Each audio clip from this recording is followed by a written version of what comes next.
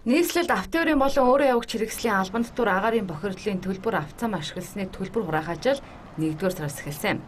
За тэгвэл өнөөдрийн байдлаар нийслэлийн хэмжээнд бүртгэлтэй 400 орчим мянган автомашинаас 110 мянган автомашин л татвараа төлсөн байна. 1 сард 1.6 орд өгсөн, 2 сард 2.7 орд өгсөн тээврийн хэрэгсэлд албан татвар төлөх ёстой байгаа нийслэлд. За өнөөдрийн байдлаар нэг 50% та нийт төлөх ёстой машины 50% нь хамрагдсан гэсэн үг.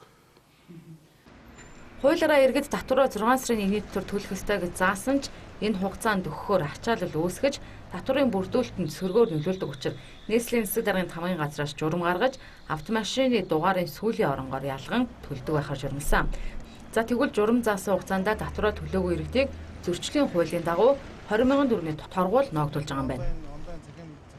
2018 оны дотор төлөг юм байна. За. 2 сар төлөх ёстой байсан. Зэрэг 2018 оны дотор төлөөг юм шүү дээ. За.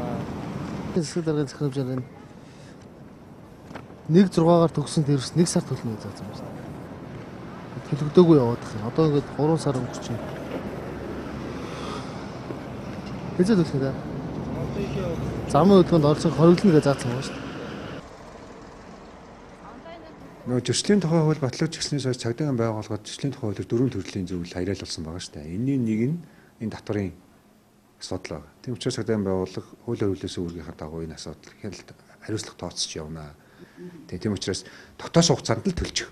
За төлөөгүй байх юм бол харин дээрээс нэмээд одоо торгуулаа төлөөд тийм ээ. Торгуулаа төлөөд дээрээс нь татвараа зайлшгүй төлөх юм шаардлага гарч байгаа. Тийм учраас энэ харилцаанд орохгүй байхыг та бүхнээс та бүхэнд анхааруулж байна. Татварын системийг боловсронгуй олгох иргэдийн цаг завыг хэмнэх үүднээс нийслэлийн мэдээлэл технологийн газраас өнгөрсөн оны 2 дугаар сарын 1-нд Smart Car гэх цахим системийг танилцуулсан байдаг.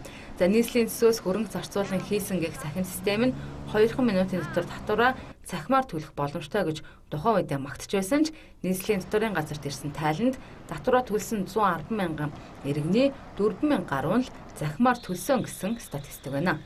Тод мэдэн Дуянга Батбаяр